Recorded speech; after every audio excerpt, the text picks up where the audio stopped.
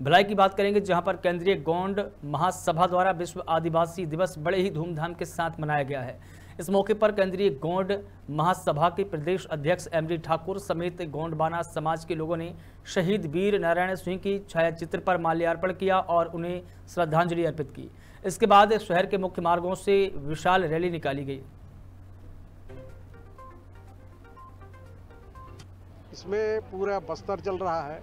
जिस प्रकार से क्रिश्चियन क्रिश्चन जो है धर्मांतरण के खिलाफ, धर्मांतरण कर रहे हैं। उसके खिलाफ में हमारे आदिवासी समाज एकजुट हो गए हैं और जो धर्मांतरित हो गए हैं, उनको समाज से अलग कर रहे हैं।